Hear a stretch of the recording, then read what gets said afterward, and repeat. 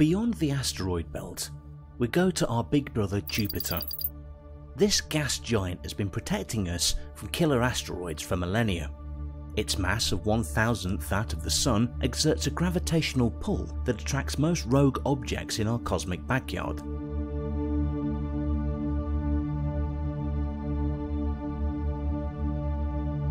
High pressure region in the atmosphere of Jupiter produced an anticyclonic storm larger than two Earths. It has been raging for over 300 years. It's known as the legendary Great Red Spot.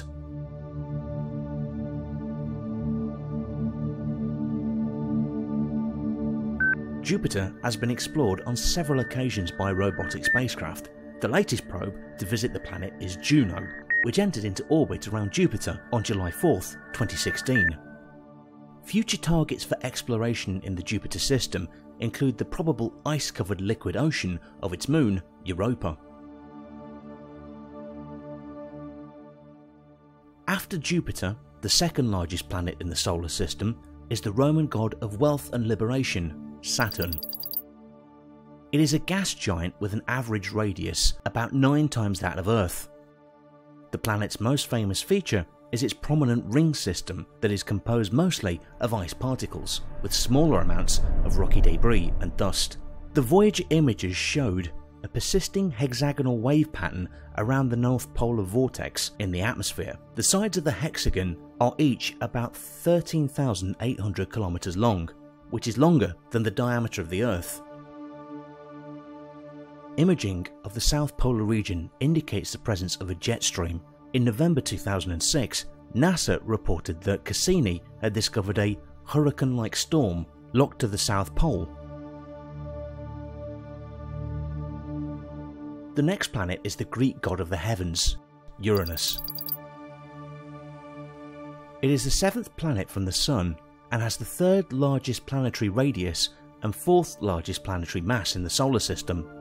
Uranus has a bulky chemical composition which differs from that of the larger gas giants Jupiter and Saturn. For this reason, scientists often classify Uranus as an ice giant to distinguish it from the gas giants. It has the coldest planetary atmosphere in the solar system, with a minimum temperature of minus 224 degrees Celsius. Like the classical planets, Uranus is visible to the naked eye, but it was never recognised as a planet by ancient observers because of its dimness and slow orbit. Sir William Herschel announced its discovery in 1781, expanding the known boundaries of the solar system for the first time in history and making Uranus the first planet discovered with a telescope.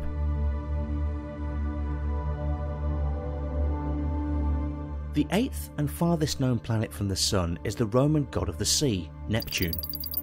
It has an official astronomical symbol of a stylized trident. Neptune is not visible to the unaided eye and is the only planet in the solar system found by mathematical prediction rather than by empirical observation. Traces of methane in the outermost regions in part account for the planet's blue appearance. Similar to Uranus, Neptune's interior is primarily composed of ices and rock, and thus is considered an ice giant. The Voyager 2 flyby in 1989 detected active and visible weather patterns in the southern hemisphere. One of its observations was the Great Dark Spot, comparable to the Great Red Spot on Jupiter. Beyond the orbit of Neptune, there are no more planets in the solar system. But wait, aren't we forgetting something? Isn't Pluto supposed to be the ninth planet?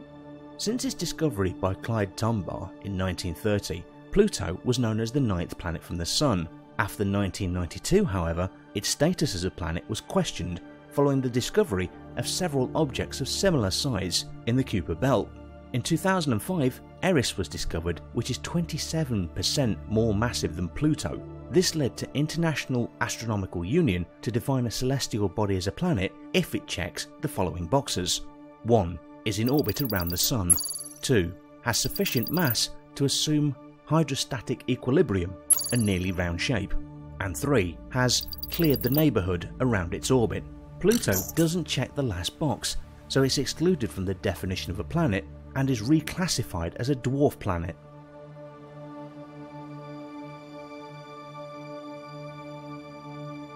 Voyager 1 is the only spacecraft to cross the heliopause and enter the interstellar medium.